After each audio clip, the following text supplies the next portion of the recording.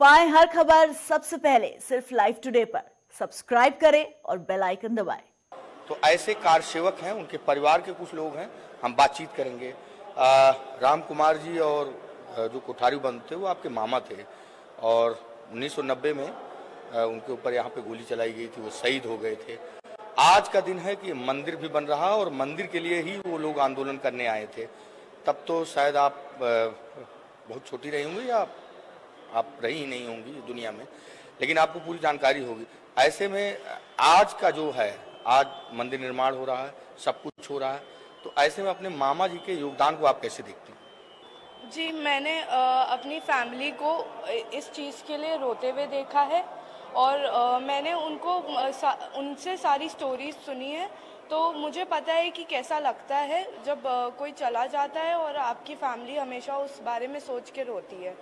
तो उस चीज़ को देखते हुए मैं अपनी माँ को देखते हुए, अपनी नानी को देखते हुए बोल सकती हूँ कि ये हमारी फैमिली के लिए एक बहुत बड़ा दिन है और हम इस चीज़ को लेके बहुत ज़्यादा ही खुश हैं। आपको कोई मांग, डिमांड?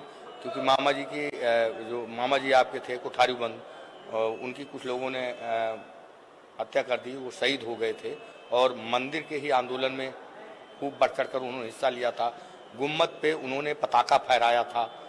तो आपको नहीं लगता कि उनके जो हत्यारे हैं आरोपी हैं उनको सजा होनी चाहिए?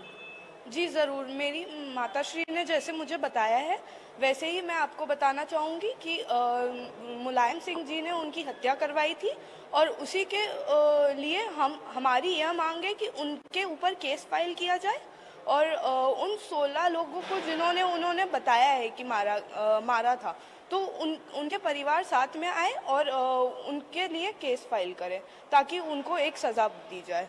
क्या नाम है आपका मेरा नाम यशस्विनी महेश्वरी है मैं पूर्णिमा कोठारी जी की बेटी हूँ। तो ये कोठारी जी की भांजी हैं जिन्होंने 1990 में अपनी जान गंवाई थी।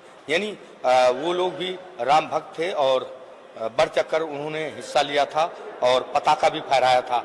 तो ऐसे में कोठारी बंद की जो भांजी हैं इनका साफ़ तौर पर कहना है कि जो लोग हमारे मामा की हत्या कराए थे, उनके खिलाफ भी कार्रवाई होनी चाहिए। बहरहाल, मंदिर बनने से हम बहुत खुश हैं।